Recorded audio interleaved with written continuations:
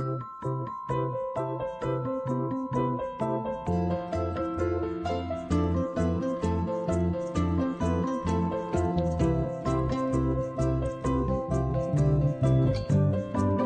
Okay, then uh, let's move to the class. So we are going to start the class by the question number 10. So the question is asking which of the following are considered as components of financial statements prepared by a welfare society. So if we are going to discuss what is the theory behind this one and uh, what it's the components of financial statements and elements of financial statements. So normally students get confused with components of financial statements and elements of financial statements. If you look at here, so components of financial statements, actually in simple terms that those are different statements so the elements of financial statements means items in statements. So what? So if you go for the questions, which of the following are considered as components of financial statement? And the question specifically asking about the welfare society. So if you see what is the welfare society, those are non-profit organizations. So not non-profit organizations. So normally, so non-profit organizations in the sense like charity. So you can see the charities and clubs and sports clubs and also some some volunteering activities. So they are not willing to do something for profit. Other thing is so why a non-profit organization needs to prepare finance statements if their motive is not profit? Because of there are some members so there are some donors they are giving the money to the non-profit organizations like charity. Charity is having a responsibility to show what they did for the money they have received from that. They have to responsible for the account so they need to show the account. So that's why they they are in the need to prepare financial statements. The name we are calling for the non-profit organization is the same as statement of financial position. Statement of cash flow also the same name we will use for that one. But for the statement of profit or loss normally this is the income statement we are calling as a calling as an income and expenditure account. So why we are calling as an income and expenditure account? This is a non-profit organization. They are not very happy happy with using the word profit or loss. They are using the word income and expenditure account. So financial statements are something different from the general ledger.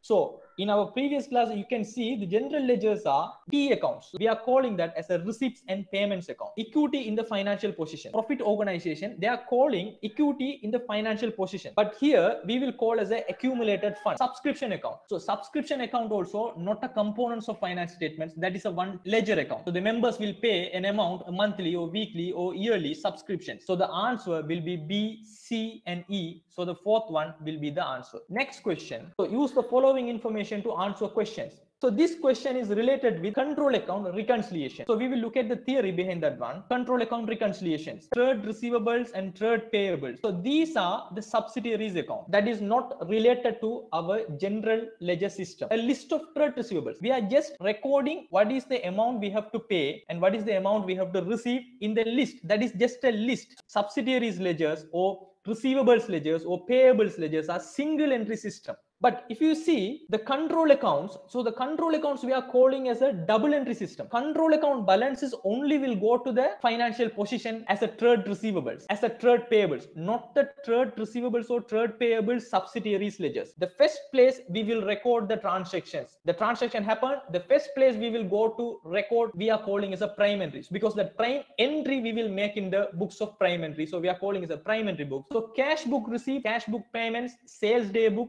purchase day book journal so these are the main prime books. This is the control account. So single entry system that is only for memorandum accounts. That means subsidiaries ledgers. General ledger, if you make a sales, that's a revenue. So you will record in the credit side revenue account. And also you need to receive the money. So you will record in the receivables control account, not in the subsidiaries ledger account. So sales day book, we will have a like a list of customers. So A. So individually for A account, you will go to the individual memo entries, only the single entries. So this is this arrow is indicating the single entries. Only you will make a single entry. So this is a single entry system, receivables ledger. So those are the individual record we made. Two receivables total a total amount should be tally with this control account. So some cases we will miss to record in the receivable ledger account or we will miss to record the totals in the receivables control account. So some errors might come. So we need to reconcile the errors because if that errors in the receivables control account, so this balance will go to the financial position.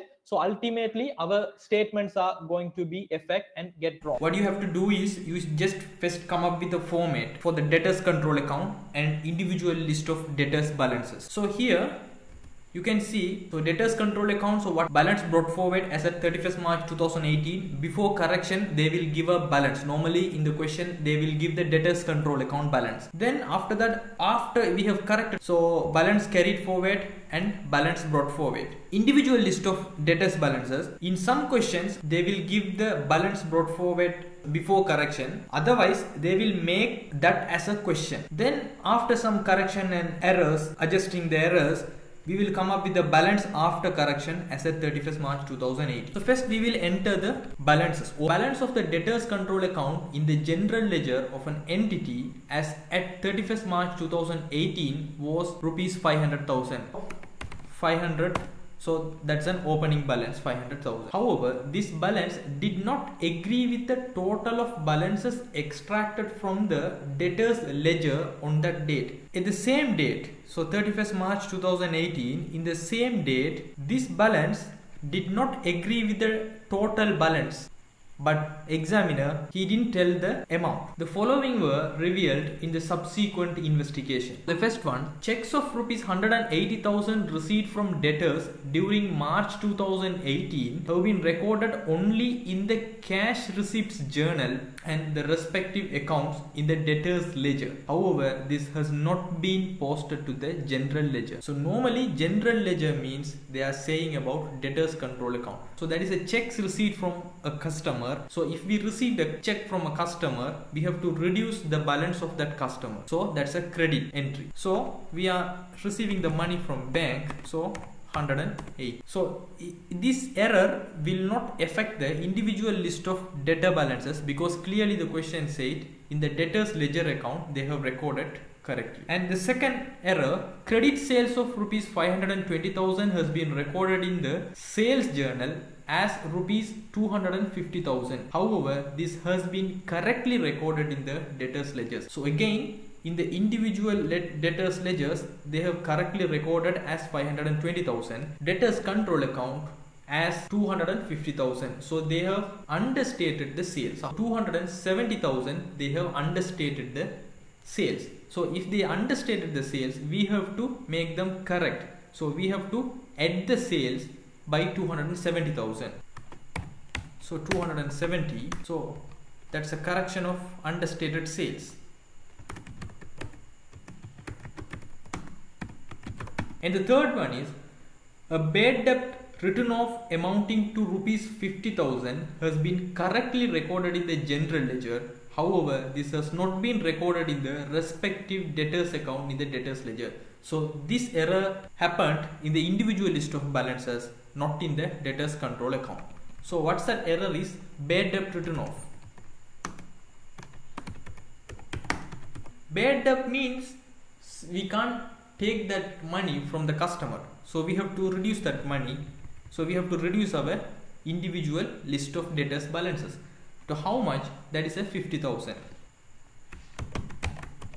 and other one is the final one a balance of rupees 80000 has been omitted in extracting balances from the debtors ledger so we missed some balances. So we have to add that one.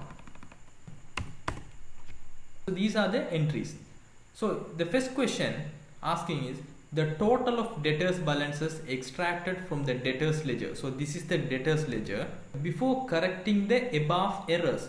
So before correction is this one. So the question number one is asking about here. So that's the question number one. And the question number two, the correct balance of debtors control account is at 31st March 2018.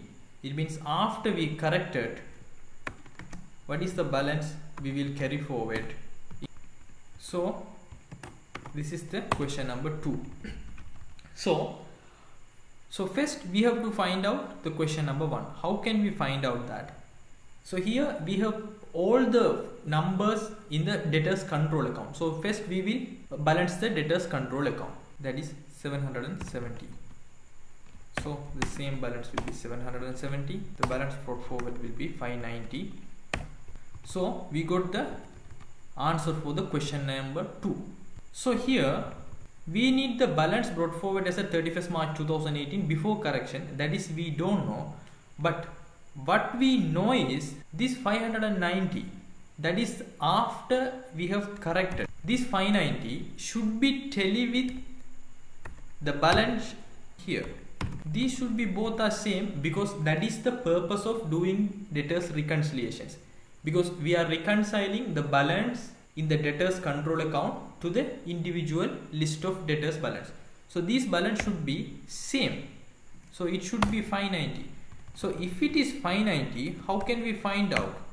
So so you have to take away the 80 and you have to add a 50 then you can come up with the 560 so here what you can understand is here this 500 okay this 500 and 560 so these are the figures identified when in the beginning. It means in the 31st March 2018 okay the accountant eh, the accountant is looking at the debtors control account and the individual list of debtors balances. He has identified the debtors control account is 500 but the individual list of debtors balance is 560 so he know it might be an error in the individual list of debtors balances or it might be an error in the debtors control account. Then the 13 next question is income statement of a retail business reported the following information for the year ending 31st March 2018. The question is asking the total income and total expenses to be recognized by the by this business and for the year ending 31st March 2018. The theory behind this one, the types of accounts. So you need to know what type of accounts sales return, the type of account it will go is income account. Sales, that is an income. Sales return will reduce that income it means you have to the sales return it's related with the sales so it also will go to the income account but it will reduce the income but it's related with the sales so the sales return also income account. So the purchase return so if you take the purchase that is an expense related with our purchase. So purchase is an expense purchase returns also related with purchase so but it will reduce our purchase. So if you allowance for doubtful debt uh, account that is an asset type of account. So because of why allowance for doubtful debt is an asset type of account so why you are making an allowance, you have a doubt whether I can receive that money, I need to receive from the receivables. So you have a doubt, you are going to reduce your receivables. Receivable is an asset account, but allowance for doubtful account, it will reduce the receivable. So it also related with an asset. So allowance for doubtful debt also an asset type of account. Drawings, it's not an expense. It's related with an equity it means it will reduce the equity but even if it is reduce the equity that is an equity types of account not an expense. The question here the sales is 2000 that is an income. The interest earned yes that is an income 250 the gain on sale of motor vehicles and interest expense that is an expense. Operating expenses that is an expense. Cost of sales that also a main expense for the business. Drawings goods and expenses. So the sales is an income the interest earned also an income, gain on sale of motor vehicles in income, then nothing else. So if you see the expense, so what are the expenses we have? We have 300, 300 amount of interest expense and also 500 amount of operating expense and cost of sale is 1200 and drawings we can consider an expense that will reduce the equity. It's not coming under the category of income or expenses. So 2400 is an income and expense is 2000. The next one is a partnership question. So use the following information to answer question number 14 and 15. Before we get into the question, so first you need to understand what is this question is asking. So the equity of this partnership as at 31st March 2018 sum of amount of current accounts and capital accounts. That is the answer for the 14. And the 15, the next question is net cash received from the transactions with the partners during the year ending 31st March 2018 and Shanta's current account balance as at 31st March 2018. Specifically Shanta's current account. So okay, let's start the question.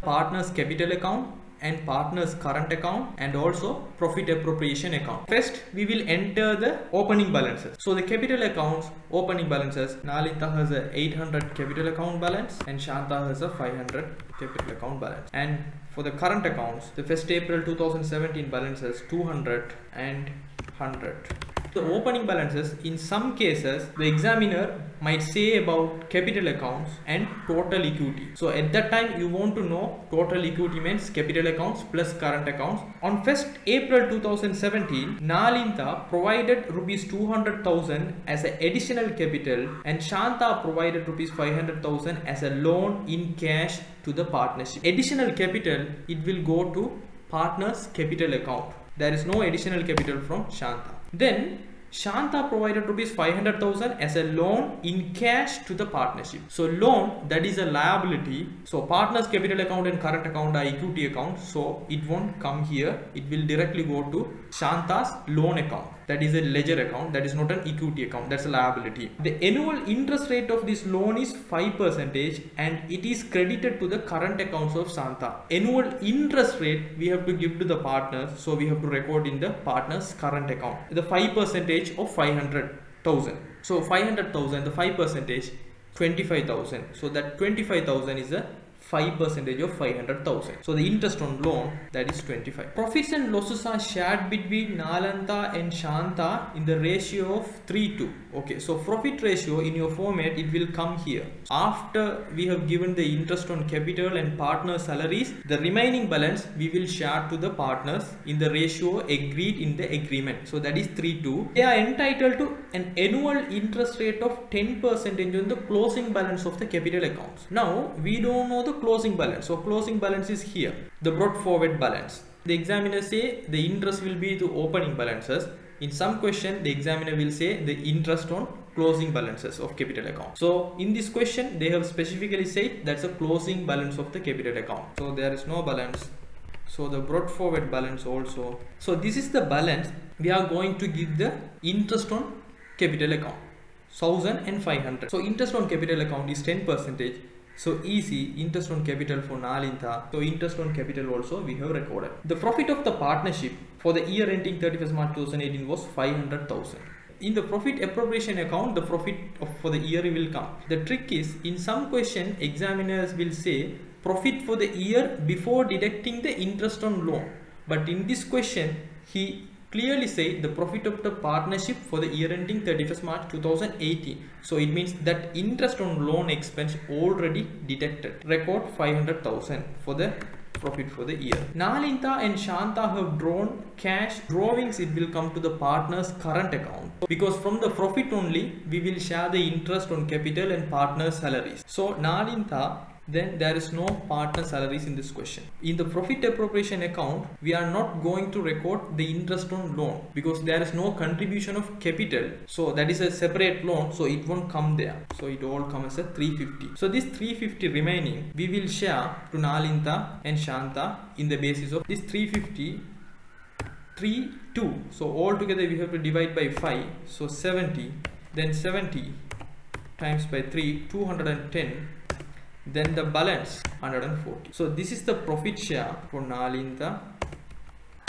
and 315 410 so we will get the brought forward balances. So answer for this 14 the question number 14 is so Nalintha is Nalintha is 1000 plus Shanta 500 is the balance partners capital account. So partners current account the balance for Nalintha is 410 and Shanta is 265. So altogether 2175. The question number 50. Net cash received from the transactions with partners during the year ending 31st March 2018. So what is mean by net cash? So net cash means the cash input from the partner and the cash output by the partner. The first one additional capital 200 as a cash and also Shanta has given as a loan 500,000 so drawings as a cash. So in the Nalintha 100 and Shanta has taken 50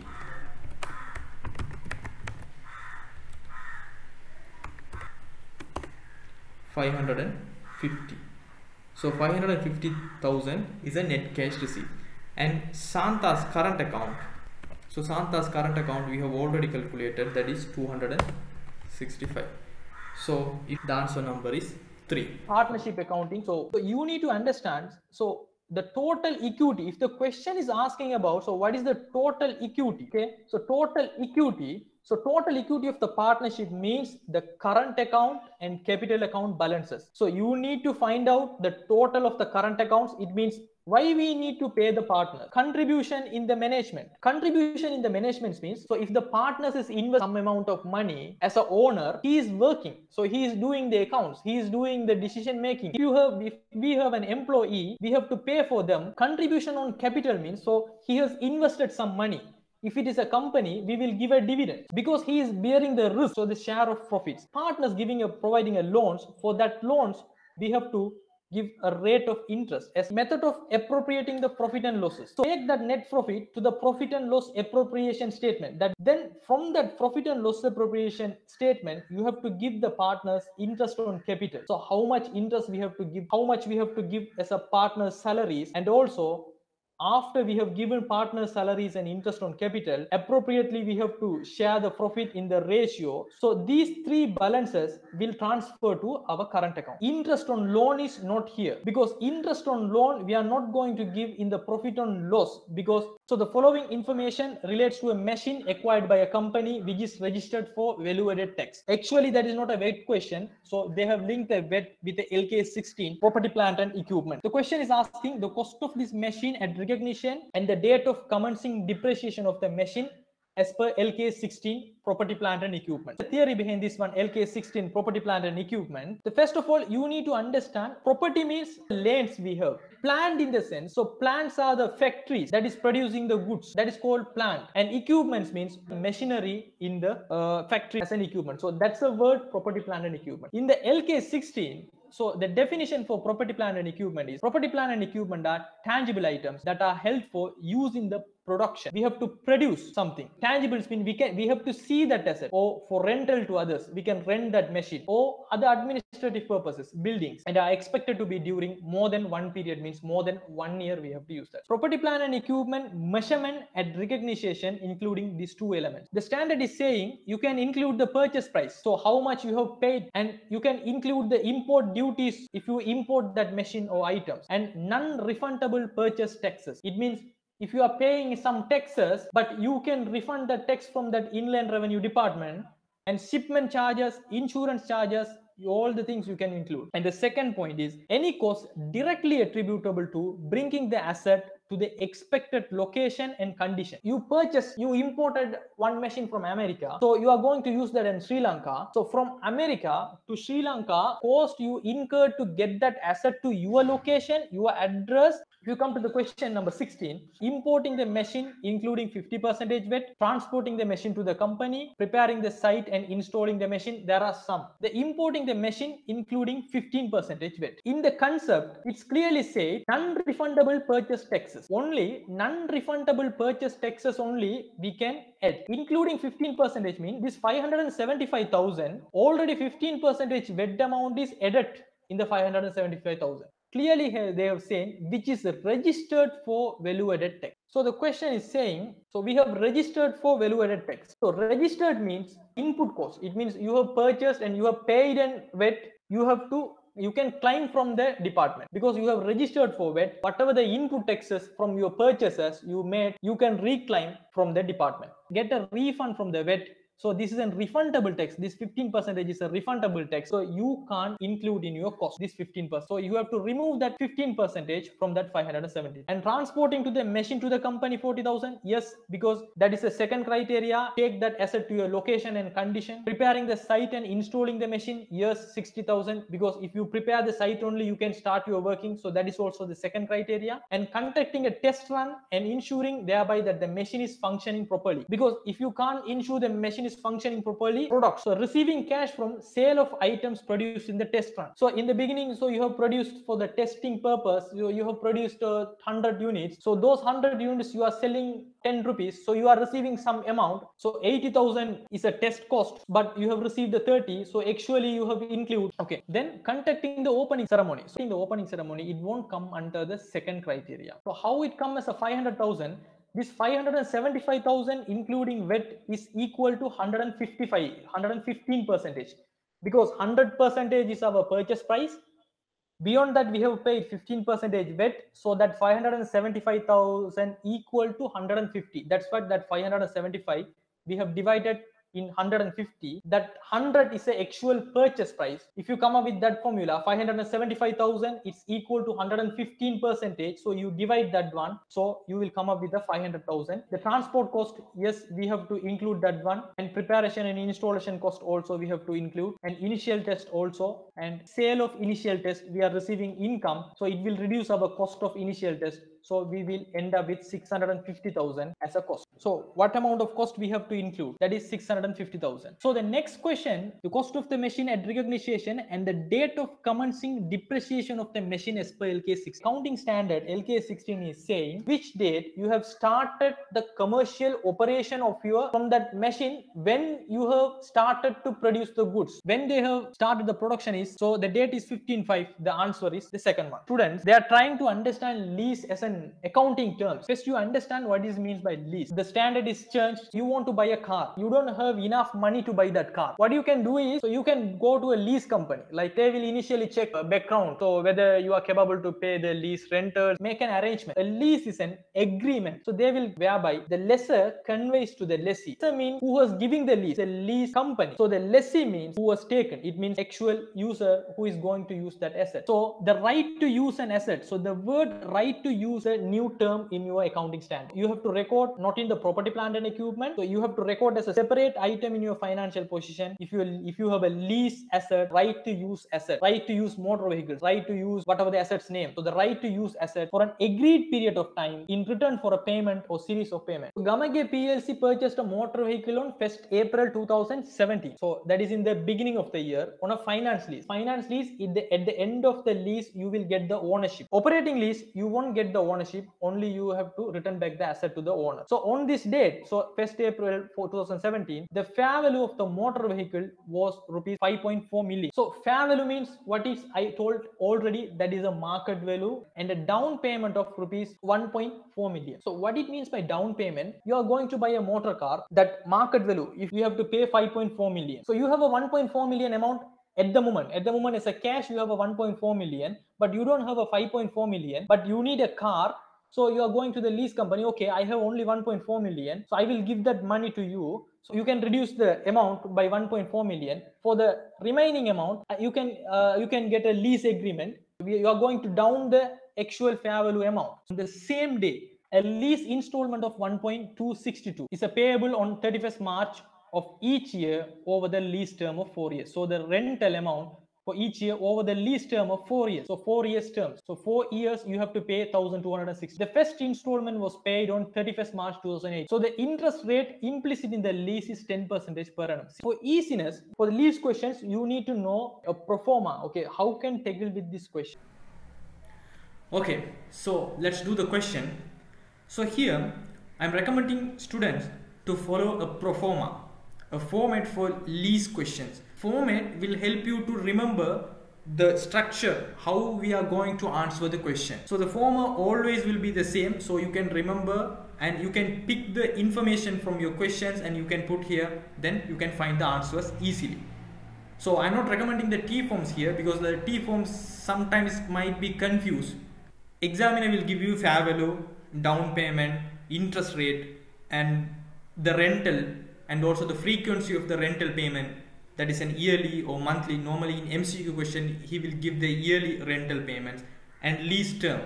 So these information easily you can pick from the paragraph of the question. So Gamage PLC purchased a motor vehicle on 1st April 2017 on a finance lease. The fair value of the motor vehicle was rupees 5.4 million. So fair value is 5.4 million so fair value means the market value. And a down payment of rupees 1.4 million was paid on the same day. Okay, so 1.4 million. The down payment, it will reduce your lease liability.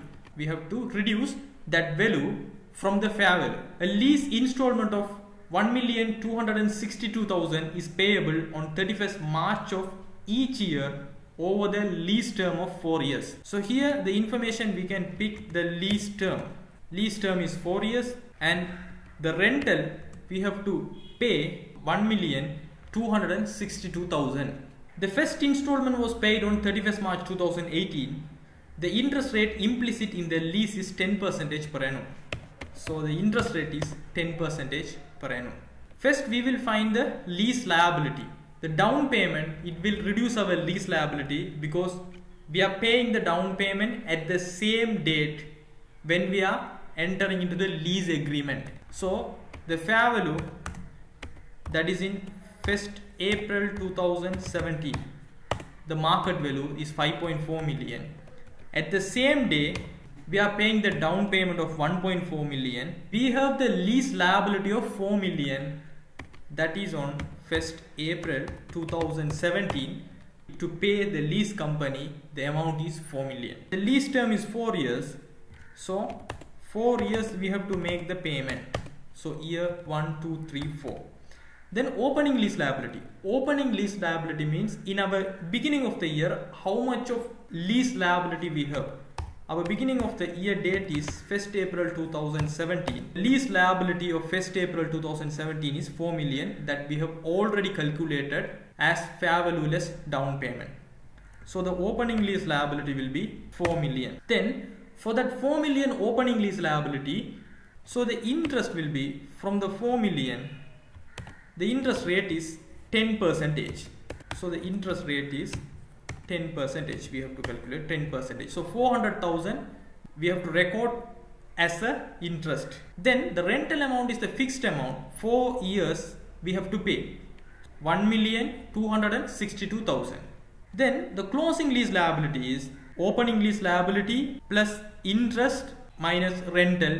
So 3 million 138,000 is a closing lease liability. Then for the second year, the opening lease liability that is the previous year closing lease liability. The same formula will applicable. 10 percentage of 3 million 138,000.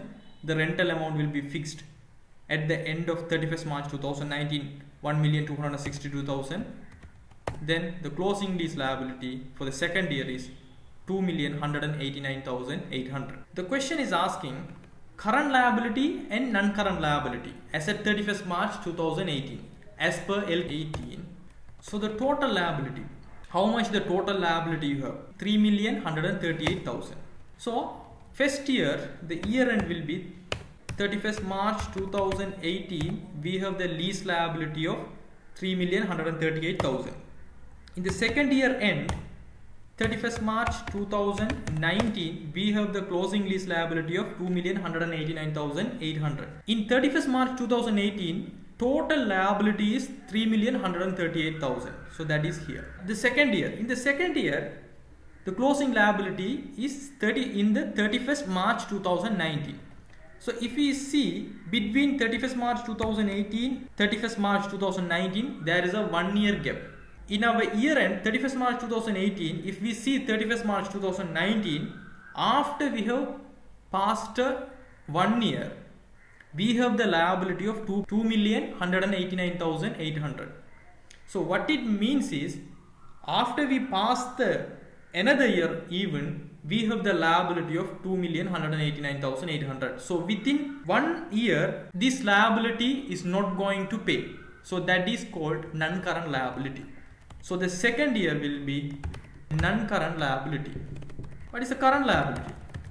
So current liability that is equal, you know, total liability is equal to current liability plus non-current liability. So we know the total liability and also non-current liability. So from total liability, if we take away non-current liability, the current liability is 948,200 so the answer will be for the current liability 948200 and non-current liability 2,189,800 it will be the third one. Okay. So it is easy to do the question in the tabular format. So you remember the first column will be year and opening lease liability plus interest and the takeaway rental and it will give you the closing lease liability. So here you have to remember within this rental amount 1,262,000 the interest also we are paying. So the interest amount of 400,000 also that is in the rental amount.